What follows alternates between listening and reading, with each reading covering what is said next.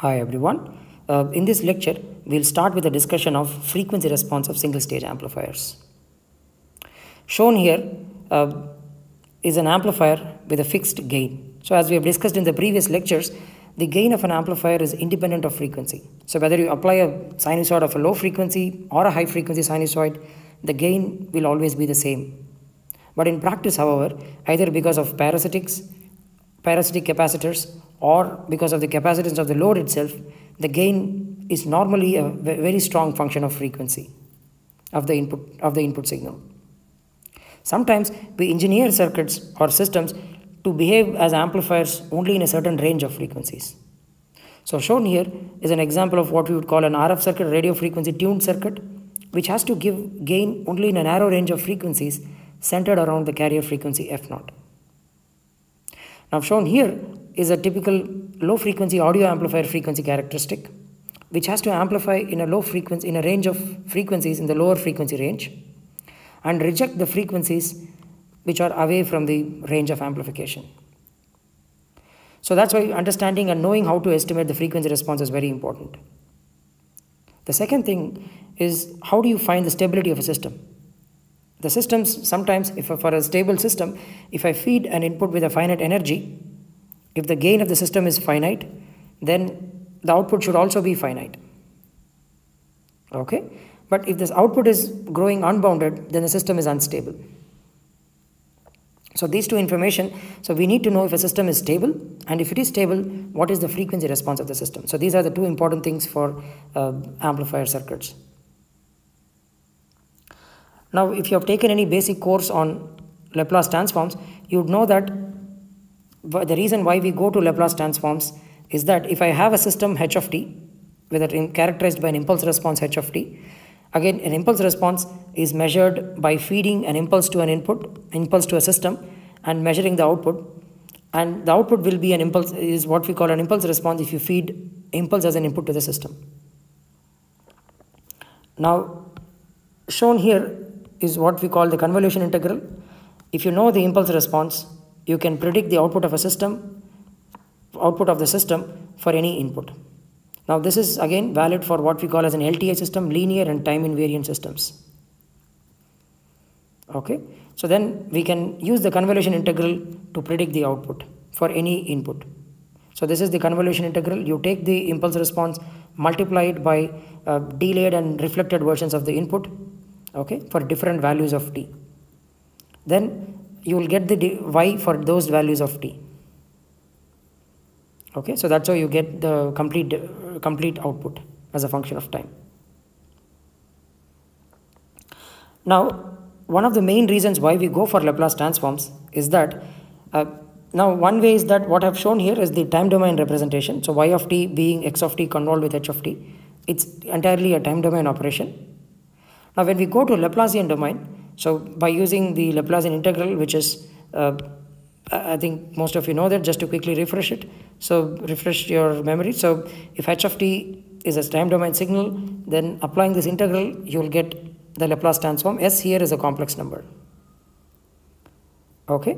So once you know the Laplace transform, you can very easily predict the output by simply multiplying the Laplace transform of the output by simply multiplying the input's Laplace transform and the Laplace transform of the impulse response.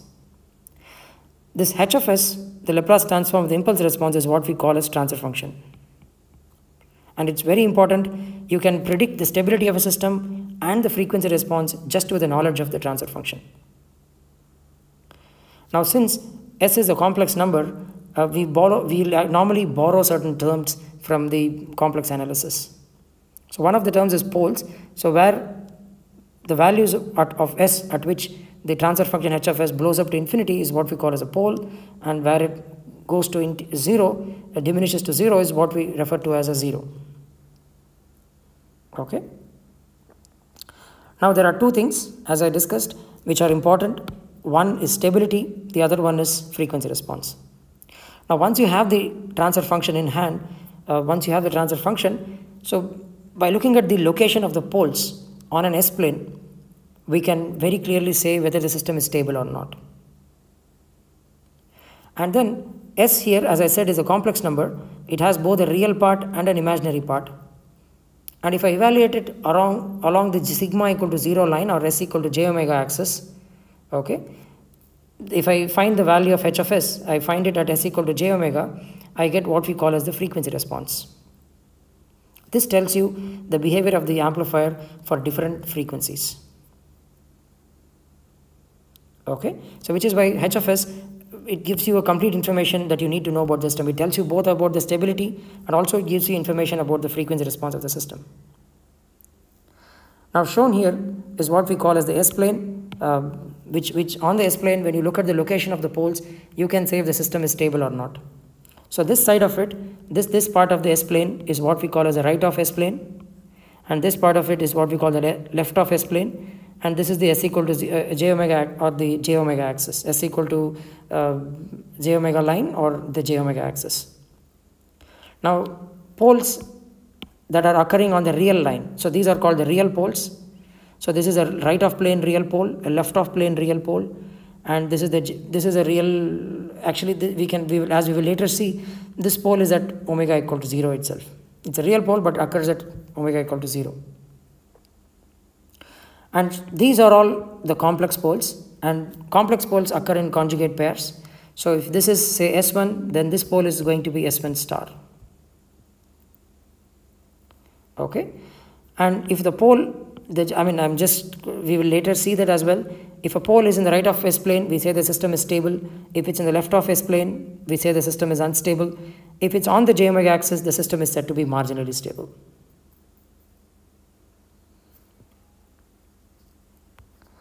Now, we will talk about the frequency response and how do you get frequency response from the Laplace transform. So, if you see the Laplace transform h of s depends upon two variables one is sigma and also j omega. Okay. So, on an s plane we have the sigma sigma and j omega plane which is nothing but the s plane. You can actually plot the magnitude and phase in a three dimensional graph. So first, if you see here, h of s, it depends on two variables, sigma and two independent variables, sigma and omega. At the same time, h of s is also a complex number, so it has both magnitude and phase. So now, if what I've shown here is nothing but the magnitude response on an S plane. Okay, it will be actually a three-dimensional plot. h of s, uh, if I want to plot mod of h of s as a function of s, it's going to be a three-dimensional plot and if I cut it, if I slice this mod of h of s, this three-dimensional plot along the s equal to j omega plane. So this is the uh, this will be the s equal to j omega plane. So this will be the plane. If I slice it along that, if I cut it along that, I'm going to get the frequency response. Okay, so that's nothing but evaluating h of s at s equal to j omega. So frequency response it's a very important parameter. I mean, it's a very important characteristic of a system. Now, it tells you what is the response of a system to different frequencies. So, let's say we know the frequency response h of j omega. It's a complex number again. Okay, h of j omega is a complex number. It has both real and imaginary parts. Now, if I feed a sinusoid of an amplitude Vp, then the output will also be a sinusoid. So that's what uh, that's a property of an LTI system uh, for a linear time invariant system, the output frequency will always be equal to the input frequency. It's violated only in resonant systems uh, where there are poles on the j omega axis. In that case, you might get some additional frequency, only just a few additional harmonics of the resonant frequency as well. Okay, so typically the same, uh, depending on the poles on the j omega axis, you will get some, we, we will see that example a little later. Okay, but generally for a linear time invariant system, the frequency at the output will be same as the frequency at the input. So if I apply a sinusoid of frequency omega naught, at the output I am going to get a sinusoid of frequency omega naught. The only difference will be in amplitude and phase. The amplitude is simply given by the input amplitude times the, the frequency response evaluated at omega naught. And the phase again is simply given by, I'm sorry, and the phase again is simply given by the phase of the transfer function or the frequency response evaluated at omega naught. Okay, so that's why if you know the frequency response, you know the behavior of a system for any sinusoid. Now, once you know the behavior of a system for any sinusoid, it's as good as knowing the behavior of system for any signal. Because we know from basic Fourier transform theory, any signal can be represented as a linear combination of sine waves or sinusoids. Okay, the signal is aperiodic, it will be a continuous continuous sinusoids. Okay, if it is periodic, you will have infinitely large number of sinusoids but discrete in number. Okay? But the thing with frequency responses it tells you everything you need to know about the system the behavior of a system for different frequencies. Okay and it's very useful because in real life the signals that you are going to apply mostly either they are Fourier transformable or they are periodic uh, which means you can represent them using Fourier series. And for that if it's an LTI system frequency response is sufficient. But what frequency response very clearly does not tell you is about the idea of stability. So one such example is, let's say we take a transfer function which has poles both in the left of and right of S-plane. So shown here, this is a left of S-plane pole system and this is a system with a right of S-plane pole. The magnitude response, the frequency response is going to be same for both. Okay, so that's what I've shown in this graph. So this graph might look a bit intimidating, but it's just a three-dimensional graph of h of s. Uh, h of s and uh, I've just tried to show that what I'm showing here is that for three poles the first pole is at s equal to 0 so you can see you can actually see the singularity in the frequency response itself. So it, actually this graph is a three dimensional graph so it will go like this in all directions okay? So it will be like some kind of a volcanic uh, you know a mountain. So you would have a peak at one point it will be just that it's going to go to infinity okay? It's a singularity there. If you slice it along the j omega axis, if you let's say I plot it along uh, in a two dimensional graph, it will look like this. This is omega equal to 0. So this is mod of h of j omega. Okay, so this is nothing but the frequency response of an integrator. So we'll uh, talk about that later. Now what I wanted to say here in this graph is that what we are actually plotting is nothing but a slice of the transfer function magnitude function h of s okay sliced along s equal to j omega axis okay this this axis so whether the pole is here which is here this is a left of s plane pole or if the pole is here on the right of s plane when you slice it along the j omega axis you are going to get the same transfer function. It's going to look the same. The frequency response will look magnitude response will look the same. Okay? So that's why it's not a very clear indicator for stability. So which is why we have to resort to laplace transform on s plane look at the location of the poles and talk about the stability. And then to understand the frequency response we can then after that we can come to frequency response by just evaluating it at s equal to j omega. So for what all i'm saying is that this function also looks like a stable transfer function but it is not. Okay? So uh, a very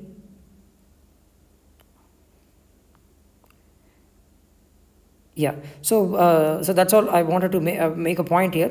The knowledge of frequency response and the location of the poles both can be inferred from the knowledge of h of s so frequency response alone is not sufficient is, is what is all i was trying to say here. And the other important i just uh, forgot to mention is that this analysis what we are doing right now it's for open loop transfer functions. Okay? So if you want to analyze the stability of closed loop systems uh, we can infer that from an open loop transfer function as well. So we will talk about that when we discuss feedback. So now we will uh, take some examples of poles on on the s plane and then see how the systems behave for a finite energy input. So what i'm going to do i'm going to apply a very narrow pulse which approximates an impulse okay? So the only reason is i wanted to pick a pulse with a finite energy. Impulse has very high infinite energy so it's it's which is why i picked a pulse with a finite energy okay? So that's fed to a system. If the energy and power power will be zero. If energy is finite power will be zero. So if you recall the energy of a signal from basic signals and systems is simply given by this integral. In fact it's calculated this this way limit of some t naught tending to infinity uh, integral minus t naught by 2 to plus t naught by 2 mod of x of t the whole square dt. So you just have to take your signal x of t, integrate it in a limit from minus t naught by 2 to plus t naught by 2, square it and integrate it, and then you let the limit t naught to tend to infinity. Okay, if this integral converges, then you call it as a finite energy signal. If the integral doesn't converge, but if you do something like this, if you just find the average energy, so which is limit of t naught tending to infinity and 1 by t of this integral and then multiply this integral, okay, uh, with this integral, okay. If this converges, then we call it as a power signal. Energy doesn't converge, but power converges, then we call it a power signal, okay. For a signal with a finite energy, power will be zero. So that's what I referred to this. So if I feed a finite energy signal and it turns out the output energy is also finite and power is zero, then it's a stable system. Okay? And if the output energy is infinity, it's, it's increasing, it's not converging, but its power is finite, then we call it as a marginally stable system. Now, if both the energy and power diverges to infinity, then that's an unstable system. So this is what we call as a bounded input, bounded output stability. For a bounded input, you should get a bounded output. Okay, then it's a stable system. If you are going to get an unbounded output, it becomes an unstable system. That's what when I say unbounded, it's going output is going to diverge to infinity. So your power will also blow up to infinity. So that's what I've written in terms of energies and powers. That's the only difference here. So we'll take some very simple examples on from circuits since we are anyways analyzing circuits. So the first example here uh, shown here is a simple system with a left off plane, left off plane pole. It's a simple parallel RC circuit, a parallel RC circuit. I'm injecting a current and uh, let's assume that the area under this current, so if you integrate current you get charge is Q naught. So the instant you apply the current, capacitor is going to behave like a short circuit. It has a very low impedance at high frequencies. So the entire current is going to fully charge the capacitor to voltage of Q naught by C. After that, the resistor is going to discharge it. So the voltage is going to reduce because the resistor will discharge the capacitor. It's a positive resistance, so it will discharge it. Now, if you look at the way in which it's going to discharge, I mean, the rate of change of the voltage at any given time is simply proportional to the voltage itself, right? The higher the voltage, the more current the resistor is going to draw out, right? So if I have a capacitor, the larger the voltage across it, the more the current the resistor is going to pull out of it. So the slope is going to be negative, but it's proportional to the voltage. So this is an interesting function. If the derivative of a function is proportional to the function itself, the only solution which will solve that is an exponential function. So which is the solution will be of this form, a decaying exponential because it's negative here. Okay, so this system is a stable system. I applied a finite energy input, so which is a very narrow pulse, and the output is a decaying exponential. So area under this square and find the area, it's going to be finite. So this is a stable system. So which means if I have a left of S-plane pole, no matter the location of this pole on the real axis, it's always stable. Okay. Now similarly, I've taken another example. In this case, we have a right of s-plane pole. See the transfer functions, I, I, don't, I really don't care about the exact values. I just, I just took an example. Here the location of the pole is actually 1 by RC. Uh, in the next lectures, uh, probably in the upcoming lectures, I'll, we'll discuss how to find the poles intuitively. Okay. So in this lecture, we are just analyzing the effect of poles on the stability. So here I've picked an example where there is a negative resistance here. So a negative resistance is an active element, it can supply energy to the system. Okay? So now the instant you applied a charge or a current pulse to the system the current will entirely flow through the capacitor and it will develop a sudden step voltage. Because there is a sudden change in the current uh, charge so there will be a sudden change in the voltage as well. So that will be q naught by c now if you see this resistor is now pumping current into the capacitor because the direction of flow of current will be into the capacitor because the resistance is negative now so which means capacitor's charge is getting added. So you are increasing the energy of the capacitor. And the rate at which the energy is increasing is actually, if you see here, it's proportional to the voltage at any point. If, you, if the voltage across the capacitor is high, then the resistor is going to inject more and more current. So it's proportional to the voltage. Okay? So the only difference is now here it's, the slope is increasing. So in that case, the output is going to be a growing exponential. So a growing exponential function, it's, a, it's not an energy signal. You can very easily show that its output is going to go become unbounded eventually. okay so any right of s plane pole if i have a right of plane pole the system is going to be unstable the, in, in, fact i can keep varying the values of r and c and show that for any right of s plane right of plane pole on the real axis it's going to be unstable. Okay? So mind you the magnitude response for both the circuits will look the same. Okay? The phase will look different but uh, in time domain we can actually see the best way to see a stability of a system even for nonlinear systems is time domain. Okay? But by looking at for an LTI system, by looking at the S plane, the location of the pole, the geography of the poles and an S plane, we can predict the stability itself directly. Now this is what we call as a marginally stable system. So I'm suddenly feeding a charge Q to the system. So capacitor will instantly take this charge. It will develop a voltage of Q naught by C. But now here there is neither loss nor any new energy being injected into the system okay it's a lossless system so the energy will the capacitor will discharge the, cap, uh, the inductor will discharge the capacitor and the inductor will store the, the, thing is that when it's discharging the energy is not lost it's stored in the capacitor inductor so the inductor's current will peak uh, when the capacitor voltage goes to zero when the capacitor voltage goes to zero the inductor current will peak here okay so the energy will be stored, the total energy of the system will be constant. See, this is this energy is the energy across the capacitor is what I'm talking about. Okay. So signal, uh, when you look at it from a signal point of view, the energy will increase a sinusoid. So for a, if you keep integrating it, the area on every cycle is constant.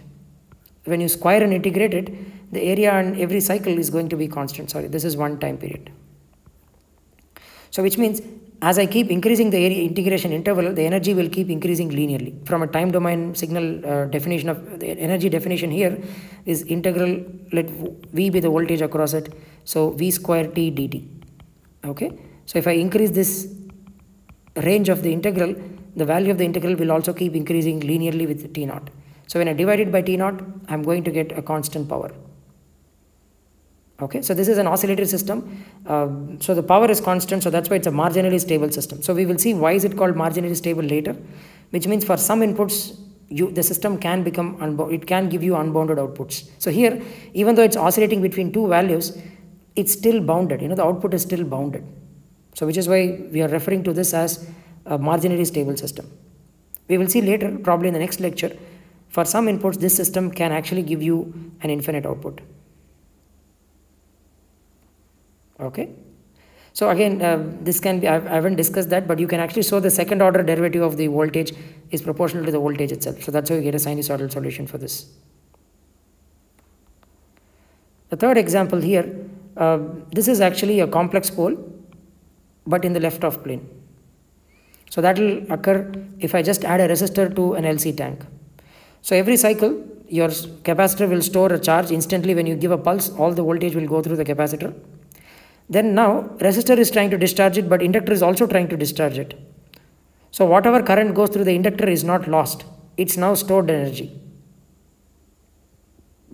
But whatever that goes through the resistor is lost. Okay, so the energy is going to go back and forth between inductor and capacitor, but the overall energy keeps reducing exponentially.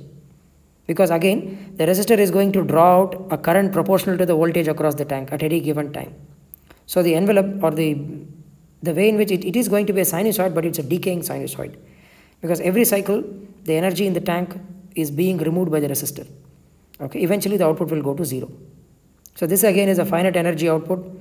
So this is also a stable system. So if I have a pole in the left of plane, whether it's a complex pole or a real pole, it's always stable. The system is stable because it will obey the bounded input, bounded output stability criterion. If the input is bounded, output is also bounded. Now in case of a right of S-plane pole, and that can be realized by adding a negative resistance to a parallel LC circuit. Okay, you can quickly derive the transfer functions. In fact, uh, I've missed there is a factor S here, but I really, at this point, I'm, I'm just interested only in the poles right now. Okay. So if I feed a, a sudden charge impulse or a, or a sudden current impulse, a very narrow pulse of current to this, the capacitor is going to take all that current instantaneously. And then the resistor is now injecting extra energy into the LC tank. Every cycle it is injecting. And that energy at, it is injecting is proportional to the voltage across it. across the tank. So it's see when you have an inductor and capacitor, they both are going to interchange the energy between the two, but there is also a negative resistance constantly trying to inject extra energy into the system. And that extra energy that is being injected is proportional to the instantaneous voltage across the tank. So therefore, it's going to the energy the uh, the amplitude is going to increase exponentially. So, okay, so this is uh, again the exponential increase is because of the rate of change of the voltage being proportional to the charge injected and all that the voltage being proportional to the voltage itself okay here i'm talking only about the peaks. Okay. So this is a system with an unbounded output. So it's going to increase exponentially. So output is unbounded so it's an unstable system. So whether you have a real pole or a complex pole in the j omega axis in the s, right of s plane the system will be unstable. So these are i mean I, I, these are well known points. I'm just uh, explaining it for the sake of continuity. Okay so these are the three conclusions. We have RHP poles unstable left LHP poles it's a stable system. And if I have the poles along the j omega axis it's marginally stable or an oscillatory system. Okay? The next lecture I'll often discuss some doubts sometimes the students have is can there be certain inputs that can make the system go ballistic? Meaning can it give you a large gain for certain inputs? So that's what we'll be discussing in the next lecture.